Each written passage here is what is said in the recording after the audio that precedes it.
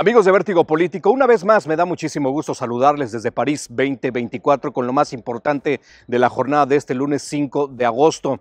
De la delegación mexicana se desprende una actividad muy interesante y tuvieron que pasar 28 años para que un equipo mexicano de natación artística regrese a un escenario olímpico.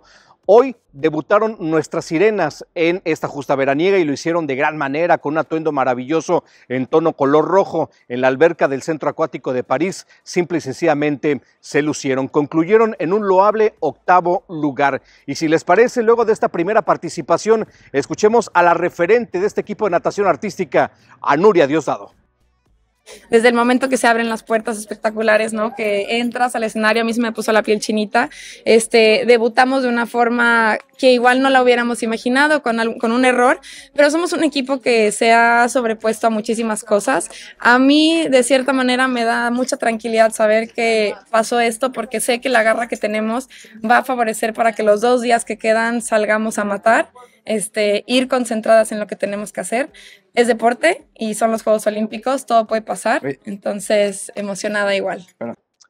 Ahí están las declaraciones de Nuria Diosdado. Es importante mencionar que en la natación artística participan 10 equipos y después de tres rondas se hace la sumatoria de puntos para determinar qué equipo gana el oro, plata y bronce. Ojalá que dentro del podio estén las sirenas mexicanas. Por otra parte, un resultado importante que me parece vale la pena destacar es lo que hicieron nuestras clavadistas Gaby Agúndez y Alejandro Orozco, quienes se calificaron a la gran final de la plataforma de los 10 metros individual. Será en las próximas horas cuando se conozca si ellas dos le pueden regalar una presea más a la delegación mexicana. Y finalmente en el box, esperar lo que haga Marco Verde en su disciplina.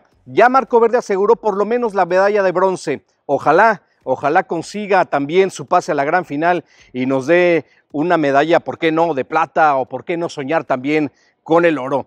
Amigos de Vértigo Político, les mando un fuerte abrazo desde París 2024, desde esta maravillosa calle que me encontré. Aquí decidí hacer este trabajo para todos ustedes. Les mando un fuerte abrazo con la invitación de que sigan nuestras plataformas para que no se pierda lo mejor de esta justa veraniega. Gracias.